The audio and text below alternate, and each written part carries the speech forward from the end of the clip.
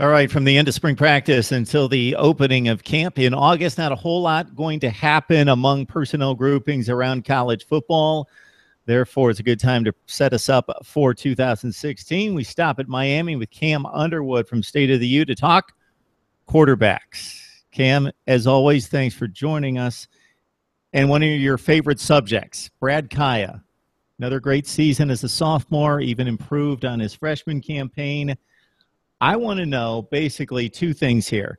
What makes this kid so good? What really distinguishes him in your eyes? And number two, is there anything he can improve on that you would like to see going into uh, this fall? Well, you know, it's always good to be here and always great to talk about Brad Kaaya. Uh, so yeah, there's a there's a lot to like with Brad Kaaya. He's a smart kid.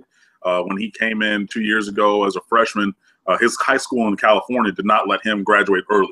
So he did not come for spring ball. He came in, you know, about this time actually in May, um, and just picked everything up very smart, very astute, knows his reads, doesn't really make many mistakes uh, throughout the course of the spring. Even Mark Richt, you know, who's calling plays for the first time in many years, uh, he would, you know, call something and Brad would be like, don't you mean, you know, this, uh, correcting a personnel grouping or an alignment or something. So, I mean, he can even correct the coaches on his knowledge of the playbook. So that's obviously something that you love to see. Uh, putting people in the right positions, uh, checking to the right protections, uh, which may or may not matter with our sieve-like offensive line expected from him is his accuracy.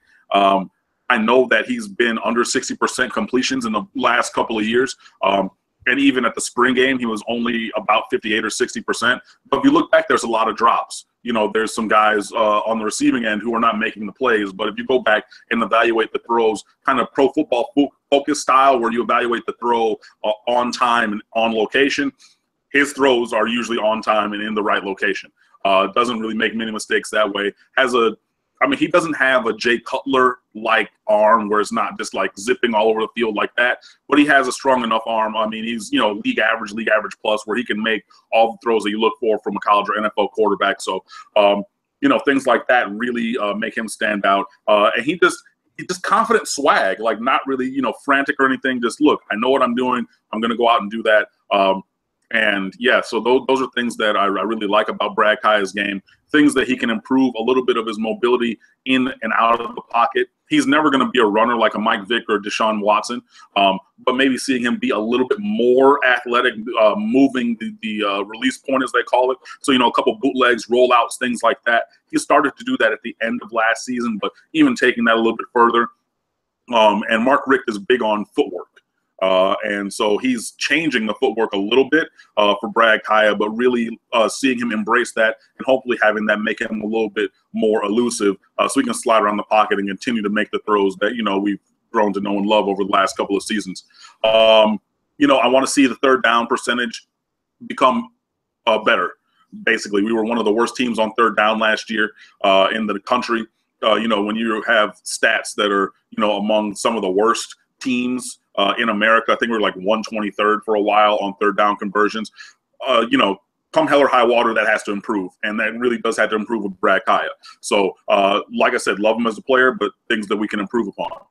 Also, um, I know that wins and losses are not a QB stat. Uh, as you know, I've gotten to to really understand sports statistics more as I've you know gone into the blogging world and things like that. But I want to see him win some of these big games. I want to see him beat a Florida State and Notre Dame. Uh, get to a ACC championship game, you know, win our division, you know, continue those kind of things. Um, and I know it's not only on him, so don't don't pretend that I'm saying, oh, this is only on Brad Kaaya, because last year he had 400 yards, three touchdowns against uh, Florida State, and we still lost. You know, so he did. Uh, I mean, he had two interceptions in that game also, but you know, a one possession game the last two years against Florida State with the ball in the fourth quarter, chance to go win. For whatever reason, that didn't happen. And I'm not putting it all on him, but I want to see that be the next step where we have this great guy, this great kid, this smart kid um, who's being talked about as a top two, top five NFL draft pick if he chooses to come out after his junior year uh, this upcoming season. I want to see him win some games. Uh, but again, I know that's not only on him, but it is partially containing him. So yeah, that's what I'm really looking for. Cam, based on his dedication, based on his acumen, I wouldn't necessarily, I'd be impressed, but not necessarily shocked that he was correcting coaches on calls. But considering this is a new coaching staff with, I'm guessing, new terminology, I'm even more impressed that he's making correct uh, uh, and correcting the the coaches on some calls. That said, different offense is it that much a different from what he's seen in the past? We know Mark Richt lines up in the pro style, wants to run the ball first. Uh, do you think that's a big adjustment at all?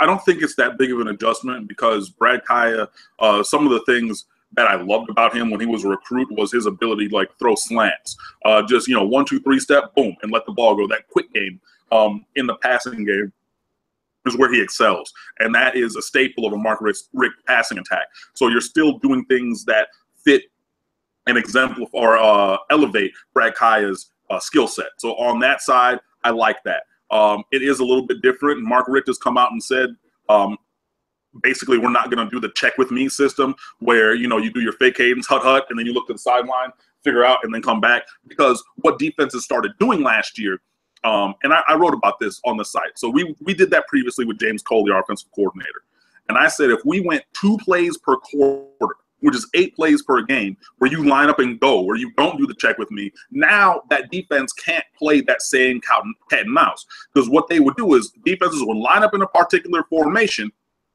and then they would just say, okay, we're going to wait. We're going to show them one thing. They're going to look to the sideline, and we already know what our real call is. Then we're going to go to our real call because they're adjusting to what we showed them, which we're not actually running. Now they come back, and then it's like, okay, three seconds left. Well, they're they're not lined up like I thought they were, but I got to now run with this, and you haven't accounted for what they're actually showing you. Um, and that was a thing that caused a lot of people consternation um, because there was no real uh, there's no tempo variation with that. If you give the Oregon on the ball, let's go, on the ball, let's go, and then do hut hut, look, sometimes you can catch them. Now, Mark Richt said, whatever they did before with the check with me, we're not going to do that because I don't want the quarterback to look with me. I want him to know and go. So he's just gonna he's gonna have his play call with his two or three built-in side adjustments and checks, but he's going up to the line and then he's gonna run the play or he'll audible to something different. But it's not going to be okay. Like you know, Dad, is it okay? Are you sure I can go out tonight? Okay, cool, and then come back. We're not going to do that anymore. Um, it is going to be a little bit more run heavy, but we have a stable of running backs that is capable uh, of of really causing some damage on the ground uh, if they get some holes. So that's uh, I think going to not not hurt Brad Kaaya, but make it his job a little bit easier. Um, if you give the hard play action fake, that's the one where the quarterback turns his back to the defense. So you're looking at the nameplate on the back and he, you know, ducks down, not the little kind of read option fake, but the hard, hard play fake kind of thing. Defenses have to respect that if you have Joe Yearby and Mark Walton and Gus Edwards and you know, maybe Trayone Gray, maybe Travis Homer. You have those guys getting, you know, 5, 8, 10, 20 yards on the ground, and we're pounding them on the ground. Now that play action game really matters because in previous years, that token play action, there were times, and I would tweet it during the games, where Brad Kaaya would play fake to air, i.e., the running back is just standing there like he's going to pass protect, but the play says do the play fake, and Brad Kaaya is going to take out his ball fakes and things, but it, um, there was no threat of the run. If you have the threat of the run with a Mark Richt offense, with you know Thomas Brown being the offensive coordinator who worked at Wisconsin when Melvin Gordon was setting records, and last year worked at uh, at Georgia with Mark Richt when you know he had Nick Chubb and Sony Michel and those guys you know doing very well over 2,000 yards rushing. That combination is really not going to hinder Brad Kaaya. That's going to open things up even more. And so you have Stacy Coley, Ahmmon Richards, Sam Bruce, uh, David Njoku, Chris Herndon, and the list goes on. Those guys are going to be able to find space and be open. Yo, that can be a problem. Cam, I like Cam, the I uh, like uh, correction, on the cadence because Certainly. Certainly. Miami, Miami is not the only team that struggles with that. You, you see teams all over the college football that are extremely predictable and do exactly yeah. what you explained right there. All right, let's look at the backups. Uh, it starts with looking at your depth chart going into spring. Your number two guy, Malik Rosier, out of Mobile, 24th rated dual threat quarterback coming out of high school. Uh, Evan Shirreffs a big six six kid. Jack Allison also at six six, but rail thin at this point, but uh, huge recruit. So how do you size him up uh, past f- I find the quarter backup quarterback situation uh, interesting for any team because it goes from being the least important position on the field unless the stud goes down, and then it becomes the most important position on the roster when this kid has to play yeah, I mean, the, the backup quarterback can be the most popular guy on the team. You know, if your starter uh, is not great, uh, but he is the most important guy because there's one ball on the field, so you're going to have one quarterback on the field at a time. Um, and let it not go by the wayside that Brad Kaaya is a superstar. I mean, All American, Heisman Trophy candidate. Um, you know, pending Miami actually winning more and things like that. Brad Kaaya, and that's the thing, he is a superstar. I know that the record in the last two years is 13 and 12 with him in there as starter, but he Brad Kaaya is that dude. He's the best quarterback we've had since you know Ken Dorsey, Brock Berlin. I mean, he is a superstar. So now you talk about that, and you come down to the backup level. Things are are are questionable. Um, you have Rosier, who started the Duke game last year, came in in the Clemson game after Kaaya got the concussion. Um, and uh, he, I don't really see him as a good fit skill wise for this. He holds the ball too long. And I talked about a couple minutes ago how uh, Mark Richt offense wants you to hit your third step, fifth step, and that ball be gone. He's not built for that. He wants to. He's like a Derek Crudup was, uh, throwback for Miami Hurricanes fans. You know, uh, he wants to hold the ball, maybe run around, make some plays. All of a sudden, he's 60 yards down the field. I thought he was going to get sacked, but he has a touchdown. He's he's that boomer bust kind of guy. I don't think that a quick strike passing game fits him that well. Um, but he has the playing experience of the guys behind. So there's that in his advantage uh, for him. He is a little he's shorter than the. I don't really hope that he plays that much, honestly. Um, Evan Shirreffs out of Jefferson, Georgia. I said last year when we did our recruiting recap, and you look at that video, that he was arguably the most accurate high school quarterback I'd ever seen. I stick with that. His accuracy is his biggest strong suit.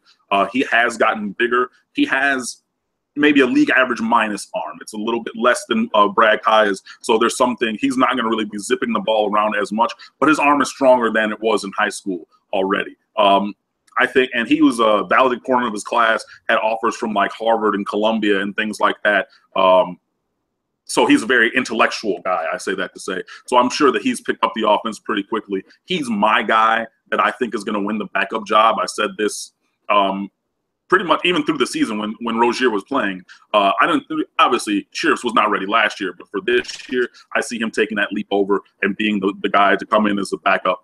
Um, Vincent Testaverde, Vinny Testaverde's son, is on the roster as a walk on. Um, you know, he's the emergency guy, really. Uh, don't really see him playing much at all. Uh, if he does, then injuries have ravaged this team in a bad, bad way at the quarterback position. Uh, Jack Allison, a four star recruit, has a he's the one on the roster with the cannon for an arm.